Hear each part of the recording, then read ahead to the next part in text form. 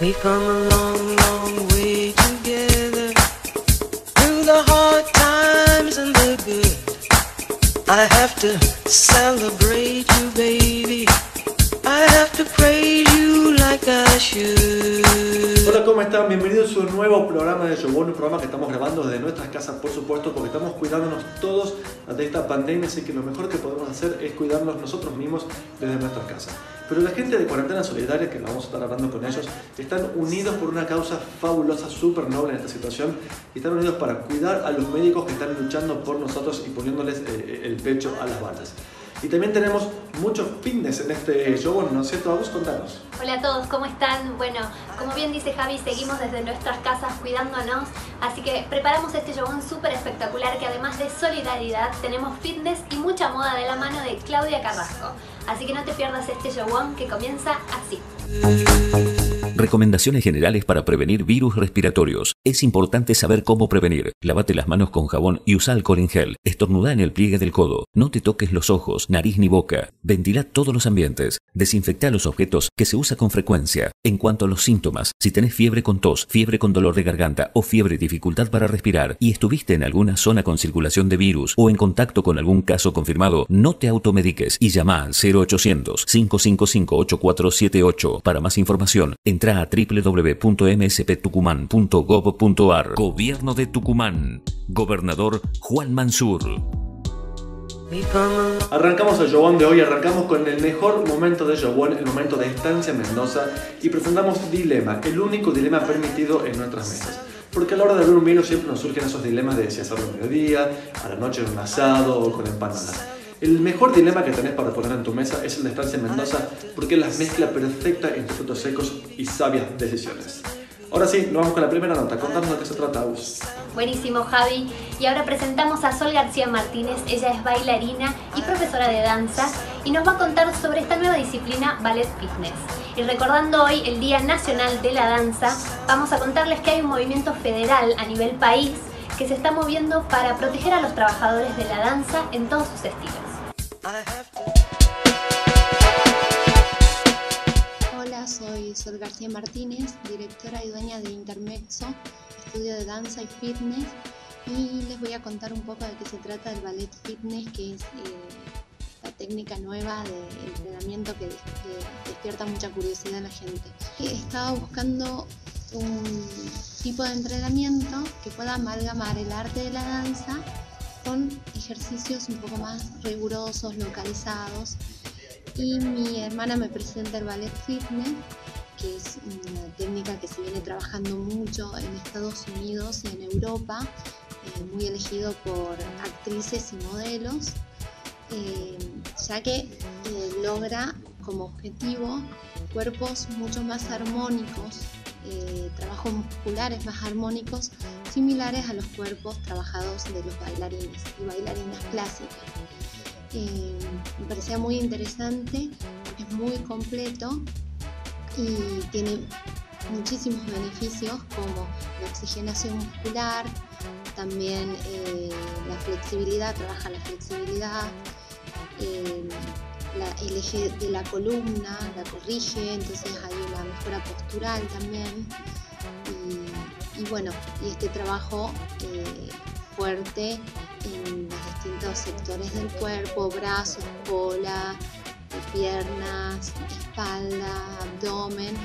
Lo que hace el ballet fitness es usar eh, algunas posiciones y posturas de la danza clásica, pero es muy importante recalcar que no es necesario tener conocimientos previos sobre danzas porque son eh, trabajos que se van logrando y realizando en cada clase eh, y no es lo mismo que una clase de ballet, ¿sí? Solamente se usan ciertos elementos, posiciones, se las toman y se las trasladan eh, a ejercicios también similares a los que se hacen en un entrenamiento funcional o de pilates. Eh, no se usa peso, como muchos se usan mancuernas como las que tengo acá de 2 kilos o 1 kilo. Se usa la pelota también, usamos esta banda circular que nos permite reforzar el trabajo especialmente de piernas y cola. Y es un trabajo muy dinámico, que clase a clase se van agregando eh, nuevos ejercicios o vamos cambiando los elementos, entonces no se hace aburrido. En las clases que hacemos en el estudio eh, son clases guiadas, todas, eh, que tienen una hora de duración entre un calentamiento, el trabajo fuerte y el estiramiento estamos dando clases de contemporáneo, de yoga, preparación física y también un taller musical muy lindo para los niños chiquititos de iniciación y estimulación temprana musical y de expresión corporal. Bueno, los invito a, conocer el Ballet Fitness y también el estudio Intermex.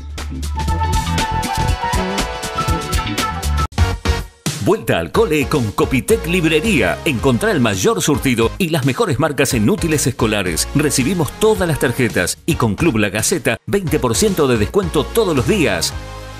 Copitec es tu librería. San Martín 660, Tucumán.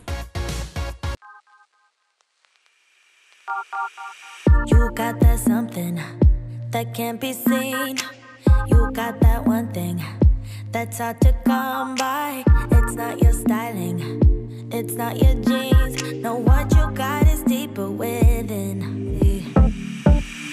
I don't need your dreamy eyes, your dreamy eyes. No, I don't need your pretty smile, your pretty smile. No, I just want your perfect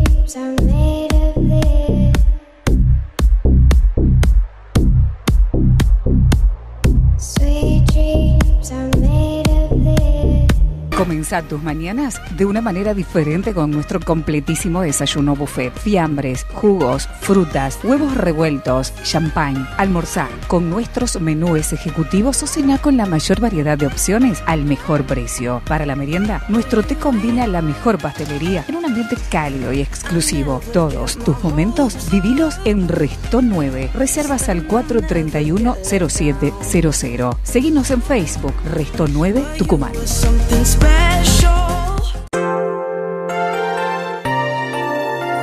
Un día como hoy en que todo comenzaba, un sueño se volvía realidad. En todos la sonrisa que fue de padre e hijos, viajando con el alma en la ciudad. Estarte,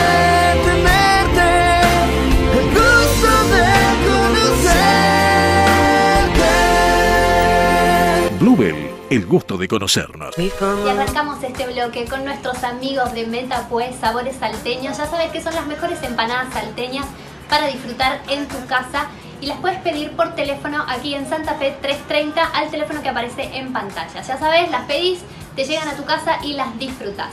Y ahora sí nos vamos con Javi que nos va a contar que estuvo hablando con una profe de educación física y contanos qué te dijo Javi. Así es, Agus. En la próxima nota estuvimos hablando con Lucila Mulki, que ella es profe de educación física y nos cuenta cómo hacer para mantenernos activos en casa, cómo, cómo inventar materiales y poder cargar un poco de peso. ¿Cómo estás, Lu? Contanos cómo lo llevas con esta cuarentena vos como profe de educación física, justamente. Hola Javi, ¿cómo estás? Muchísimas gracias por la invitación a tu programa. La verdad que es un placer. Y realmente eh, la cuarentena me parece que para todos es un poco complicada porque eh, dejamos un poco nuestro trabajo de lado y realmente eh, pesa también un un poco la parte económica. Pero bueno, hay que hacerle frente a la situación y hay que colaborar para que esto todo mejore. Y realmente desde mi profesión, digamos, es un poco complicada porque, bueno, nosotros tenemos mucho contacto con gente y ahora por la cuarentena no podemos. Pero bueno, tratamos de hacer nuestro trabajo online. Yo, por ejemplo, con mis alumnos particulares eh, sigo trabajando online. Utilizo mucho la aplicación de Zoom, en donde puedo dar mis clases virtuales. O en algunos momentos, en algunos gimnasios donde trabajo, usamos Instagram. Entonces es el medio de seguir cerca de la gente y de poder seguir acercándoles un poquito de entrenamiento para que no dejen de moverse. Ahora, Lu, una pregunta complicada. Sé que tenés una hija y que hay mucha gente que está haciendo cuarentena con sus hijos. Eh, ¿Cómo haces para, para entretenerlos, para ella, para mantenerla activa? ¿Le gusta entrenar a ella? Sí, yo tengo una nena de 8 años, cumple 9. Imagínate, le gusta saltar, correr. Entonces la verdad que es muy complicado, digamos, estar todo el día tratando de entretenerlos. Pero bueno, yo creo que se puede, se puede. Le programo miles de actividades en el día. Me acompaña un montón en mis actividades. Por ejemplo, cuando yo entreno, ella también le gusta entrenar un montón. Ella sí hace mucho deporte, así que le gusta y yo le preparo rutinas de entrenamiento para que desarrolle sus capacidades, entonces ella se entretiene con eso. Le gusta pintar, le gusta armar rompecabezas, yo, eh, yo empecé un rompecabezas de mil piezas, ella me colabora. Entonces, eh, la verdad que tratamos de tenerlos entretenidos porque sé que es muy difícil, sé, es complicado. ¿Cómo hace la gente que estaba entrenando para hacer ejercicios en casa? ¿Qué, qué materiales puede usar para, para inventarlos como pesas, para usarlos para cargar peso? Bien, mira, la gente que iba al gimnasio puede seguir entrenando en su casa sin ningún problema. Se puede improvisar los materiales, de eso no hay ningún drama porque podemos utilizar bidones de 5 litros. ¿Viste los bidones de agua? Bueno, esos bidones son muy importantes, los podemos llenar dependiendo de la medida que nosotros queramos que nos, nos resulte un esfuerzo ese peso. Además podemos utilizar una colchoneta si tenemos en casa, podemos usar una sábana como colchoneta, podemos usar una almohada como colchoneta digamos, los materiales se lo puede improvisar. Incluso tengo alumnos que cuando les pido que busquen peso para hacer algún ejercicio, se ponen una mochila, la cargan con libros, la cargan con cualquier material o cualquier elemento que les resulte un peso. Eh, aparte también es muy, muy, muy, muy importante que trabajen con el peso corporal. Y por último, te dejamos ya. ¿Cómo entrenas? ¿Te gusta hacerlo en silencio, con música? Eh, recomendanos alguna playlist, una playlist con onda de una profe de educación física que también tiene bastante onda porque te conozco. La verdad que me vas a matar con la respuesta, pero a veces me gusta entrenar en silencio, pero porque salgo aturdida de los gimnasios y bueno, la verdad que no encuentro otro modo de estar tranquila y sí, suelo a veces entrenar en silencio. Pero ahora acá en mi casa sí pongo música porque si no me aburro o si no no me dan ganas la verdad de entrenar. Prefiero irme a hacer otra cosa. Pero sí, utilizo mucho eh, Spotify en donde puedo escuchar una infinidad de listas. La última vez utilicé una de cumbia covers muy buena, o si no también utilicé una de reggaetón viejos de mi época, de, de la tuya también. Pero eh, la verdad que eso es lo que me motiva, si no, si no buscamos una motivación es muy difícil que entrenemos en casa. Pero sí, traten de utilizar todas las listas que hay en Spotify. Si te tengo que recomendar una, te recomiendo la de Tabata Music, que tenés para hacer entrenamientos intermitentes. La música te va guiando y la verdad que te es mucho más ameno que estar con el celular viendo los tiempos. Así que esa lista yo la recomiendo mucho a mis, alumnos para cuando tienen que hacer trabajitos intermitentes. Así que bueno, la pueden utilizar tenés una variedad infinita de temas muy lindos y muy power para entrenar, más para nosotros que estamos en la onda del CrossFit o del entrenamiento funcional que necesitamos, música que nos ayude a motivarnos, es muy buena. Así que bueno, muchísimas gracias Javi, te extraño un montón, sos un alumno el mejor de todos, así que bueno, te mando un beso enorme, muchísimas gracias por la nota y espero verte pronto. Hace unos meses me recibí de enfermero profesional en el Instituto San Judas Tadeo. Junto con mi esfuerzo, más todo lo que fue la parte de la enseñanza y las prácticas profesionales en distintos hospitales de acá de la provincia, me formaron para conseguir rápidamente trabajo hoy formo parte de lo que es el sistema de salud. En el Instituto Privado San Judas Tadeo encontrarás las más variadas carreras de nivel superior en ciencias de la salud pensadas para vos, la educación y profesionalismo con las herramientas que necesitas. Instituto Privado San Judas Tadeo, la formación del presente para un mejor futuro. Seguinos en nuestras redes sociales. La música para mí es prácticamente todo. Para mí Steps es una experiencia. Y para mí Steps es mi segunda familia, eh, fue donde yo arranqué con esto de la música.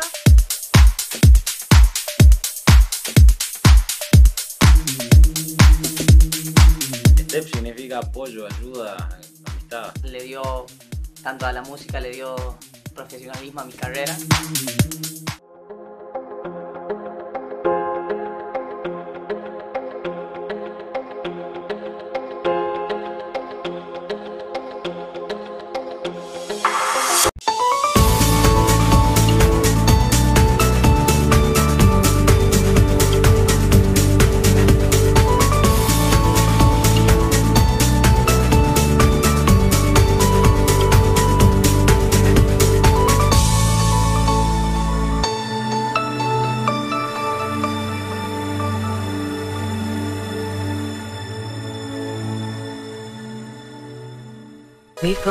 Y cuando vuelva el ciclo lectivo después de esta situación que estamos pasando, después de esta cuarentena, tu mejor lugar para estudiar es el Instituto Privado San Judas Tadeo, porque tiene carreras cortas de inmediato inicio laboral, prácticas hospitalares, una excelencia académica muy buena y además una oferta académica súper amplia.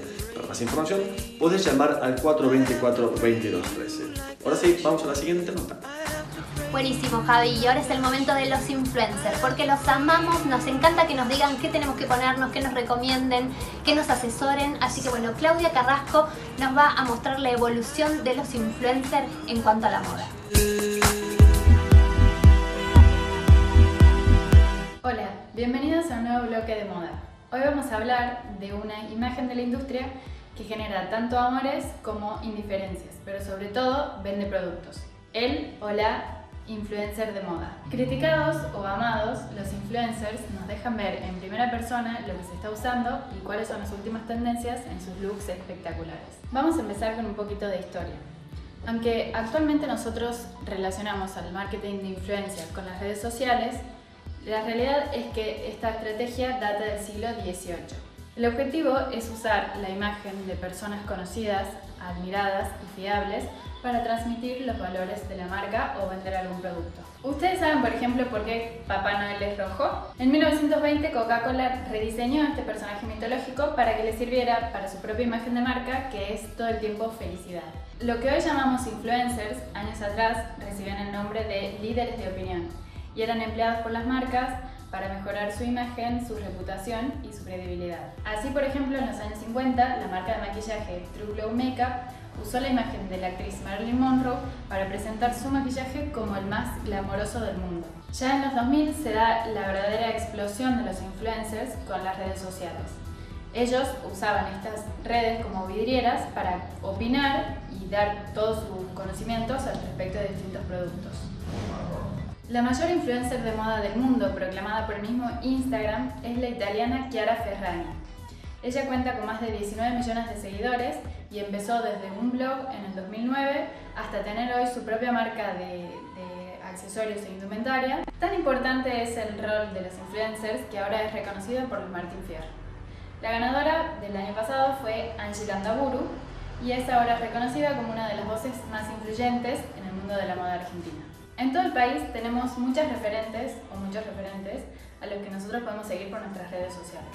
Yo, por ejemplo, sigo mucho a Flor Sosa de Catamarca porque me encantan las imágenes de viaje que ella muestra y a Nina Karam porque tiene como un estilo escandinavo, digamos, es súper moderna y súper elegante. A continuación te mostramos el videito que nos manda desde su casa Cami Palina, nuestra propia influencer tucumana. Hola a todos, yo soy Cami Palina. En esta oportunidad Clau me puso un súper desafío que es hablar y encima de mí. Pero bueno, aquí estamos. Eh, les cuento un poco, yo tengo 25 años. Actualmente estoy estudiando licenciatura en turismo y licenciatura en ciencias políticas. Y lo fusiono con este amor que tengo por la moda, que es parte de mi vida. Me encanta mostrar o transmitir, mejor dicho, cómo me siento a través de lo que uso. Eh, dejando un poco de lado todo esto del qué se usa y el qué no se usa, sino más bien cómo te sentís vos a la hora de usar lo que estás usando. La realidad es que esto comenzó más que nada como una cuenta normal, mi vida, mi día a día, hasta que un día comencé a recibir comentarios de gente que tal vez no eran ni mis amigas ni mi familia, sino gente que no conocía, pero que le gustaba lo que usaba y así me fue animando de a poquito. Eh, me fui a estudiar en IFA, en la Escuela de Moda y Lujo en París. Hice un curso durante la Semana de la Moda eh, que la verdad me abrió mucho la cabeza y fue como ese clic que me dijo, ¿te gusta? Hacelo. Y lo que me gusta mostrar y también creo que a la gente le gusta es esto de mostrarme lo más auténtica posible. Eh, siendo yo al 100%. En cuanto al contenido que me gusta publicar, básicamente es eso, mi vida diaria. Eh, que la gente sepa que no es una puesta en escena, sino que así, estoy, así soy yo. Eh, tratando siempre de dejar un mensaje positivo, eh, ser lo más genuina que se pueda. Eh, voy variando en fotos de mis looks o fotos de viajes, alguna que otra foto familiar, fotos con mi hijo si es que me lo permite.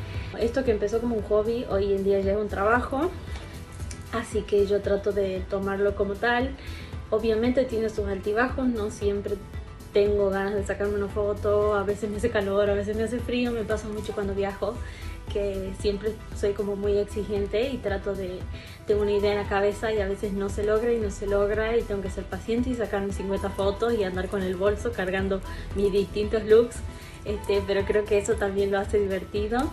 En las redes sociales, Instagram obviamente es mi favorita, me gusta mucho esto de cómo podés conectarte con la gente, que tal vez yo no los conozco en persona, pero igualmente nos conocemos, saben mis gustos. Eh, de hecho, mucha de la gente que hoy en día son grandes amigos y a los cuales quiero muchísimo, los conocí a través de Instagram, o sea, empezó como una relación en Instagram hasta que con algunos nos conocemos en persona, como por ejemplo Clau.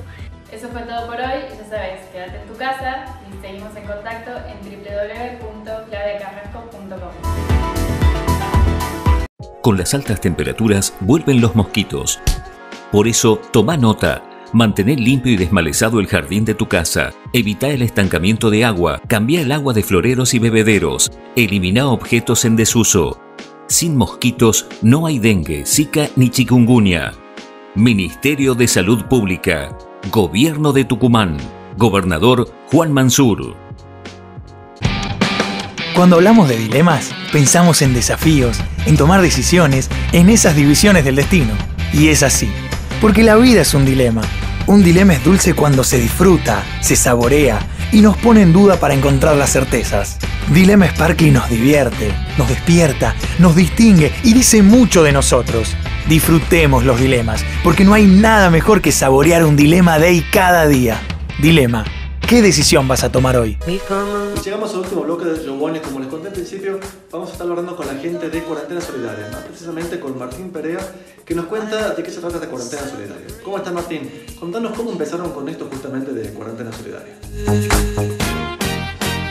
Hola Javier, gracias por invitarme a Showon. Te cuento cómo comenzó Cuarentena Solidaria. Cuarentena Solidaria se origina a través de Federico Prado, que vive en Madrid, es amigo mío desde la infancia. Se contacta conmigo, me comenta lo que está haciendo la gente de España utilizando a la comunidad de impresores en 3D para, hacer medio de protección personal. Eh, nos contactamos con la gente que está haciendo eso en Tucumán. Por suerte eran un montón de chicos, digamos, con, con todas las ganas de ayudar. Y entre todos logramos armar un grupo que prueba los, los elementos de protección personal, los, los subimos a las redes y después los imprimimos para distribuírselo a la gente. Muy bueno, Martín. ¿Y quiénes las integran? ¿La, ayuda que reciben es privada o reciben ayuda del Estado? En cuanto a quienes integran el grupo de Cuarentena Solidaria, somos aproximadamente eh, 100 impresores en 3D. Eh, Bernardo Beltrán, que está encargado de la página de internet y las redes sociales. Eh, Sergio Dávalos, que es administrador de empresas y está encargado de toda la parte de logística, compra de insumos, distribución y es el contacto y el nexo con la gente de la sociedad rural, que también está trabajando, eh, estamos trabajando en conjunto. Eh, eh, Juan Vertiquial, que es un ingeniero biomédico, compañero nuestro en el Sanatorio 9 de Julio. Eh, con él probamos, imprimimos ahí en el sanatorio algunos de los modelos, los probamos, le hacemos algunos test para ver si, si sirven o no. Y Mariano Tofán, que es el co-jefe junto, conmigo de cardiología del Sanatorio 9 de Julio. En cuanto al tipo de financiamiento, nosotros solamente recibimos ayuda de la gente que dona a través de la página de internet. Eh, algunas empresas privadas se han contactado directamente con nosotros y con la sociedad rural y han hecho contribuciones muy generosas y, y básicamente entre la sociedad y algunas empresas del sector privado se logró financiar lo que, lo que vamos haciendo hasta ahora. Una duda que me surgió, Martín, cuando yo veía toda la causa que están haciendo, esto de, las, de las máscaras de impresoras 3D, eh, ¿por qué máscaras y no barbijos? Si vos entras a, a internet y te, y te, pones a buscar qué es lo que hay disponible de medios alternativos de protección personal, eh, hay millones de cosas. ¿sí? Eh, no todas tienen la misma efectividad, no todas tienen la misma durabilidad. ¿Por qué elegimos la máscara como primer proyecto? Porque es reutilizable, es fácil de producir y, da una protección permanente durante toda la pandemia, porque al poderla contaminar se usa en un número, digamos, limitado de veces. Barbijos sí producimos. El tema es que el barbijo digamos, el barbijo, entiéndase barbijo quirúrgico para que use un médico en el hospital o en un sanatorio, tiene que tener ciertas características, tiene que estar hecho de ciertos materiales. Esos materiales son escasos, eh, cuesta mucho producirlos en cuanto a trabajo, más en cuarentena, y además el consumo es eh, desproporcionado con respecto a la oferta. Un sanatorio promedio o un hospital con 200, 300 camas consume 300 o 400 barbijos por día. Eh, la producción posible, digamos, bastante inferior a lo que se pueda consumir en momentos de la pandemia, digamos, en, la etapa pico de la pandemia. Por lo tanto, lo que, lo que estamos haciendo es producir barbijos y lo vamos a distribuir en el momento en que, la pandemia alcance su punto máximo. Y por último, Martín, te hago una última pregunta. ¿En qué momento de la pandemia estamos? ¿Recién empieza? ¿Ya pasó? ¿Estamos pasando por el medio de la pandemia? Eh, precisar el momento exacto es imposible, digamos, pero eh, sabemos que la pandemia tiene una fase donde el incremento de pacientes es muy, muy larvada, o sea que todos los días aparece un paciente, pasan unos días y no hay ningún paciente, etc. Y llega un momento donde el crecimiento es exponencial y el número de pacientes es, grande y es el momento en el que se satura el sistema de salud y es lo que vimos en, otros países como Italia, España y, Estados Unidos. Tucumán está antes, pero todavía no alcanzamos la fase de crecimiento exponencial. Evitar esa fase de crecimiento exponencial es muy difícil y depende mucho de las medidas de aislamiento social y la viabilidad de que estas medidas se mantengan en el tiempo. ¿sí? Así que creo que eh, todavía no llegamos a la peor parte de la pandemia.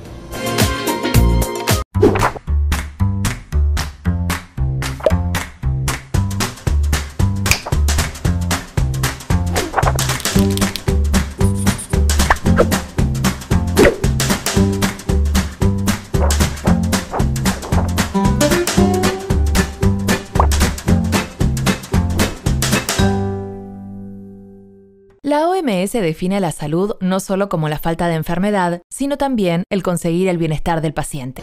Consultorio de Medicina Estética, doctora Ana María Cabrera. La mayor calidad y seguridad en tratamientos que vos querés. Anti-envejecimiento, tratamientos faciales, tratamientos corporales combinados y depilación láser definitiva. Doctora Ana María Cabrera, Medicina Estética. Comunicate al 420-9366. Un nuevo sentido a tu vida.